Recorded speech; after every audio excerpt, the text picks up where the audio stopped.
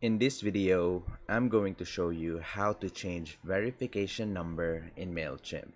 So first up, let's head on over to the profile icon in the top right corner and then let's click it.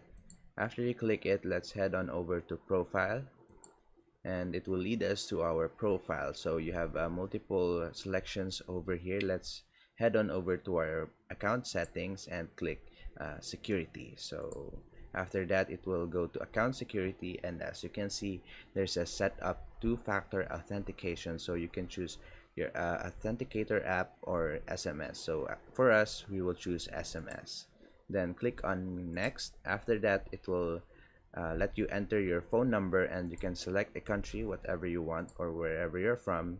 Then just type your uh, authentication number and uh, get code. After that uh, it will send you a code and that's about it that's how to change verification number in MailChimp.